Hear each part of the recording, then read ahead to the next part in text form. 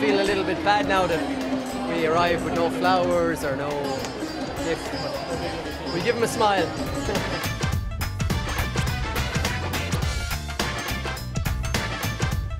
And then to convince everyone around, they were like, "Oh, how can you trust people?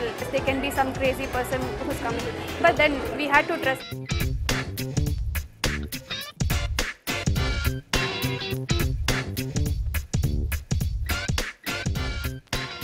I'm not sure if it would be the same in a, at a wedding in New Zealand, but it's a, like, uh, especially in my family, we're very small.